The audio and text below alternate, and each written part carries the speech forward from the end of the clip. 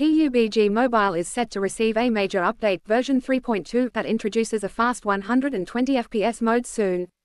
Krafton has confirmed that PUBG Mobile will soon gain 120 FPS mode. The upcoming version of PUBG Mobile version 3.2 will introduce a fast 120 FPS mode, allowing users to experience a faster and smoother battle royale experience.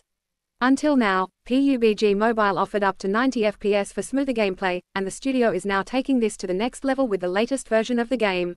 As of now, the company has not mentioned if 120 FPS mode will be available for both Android and iOS devices.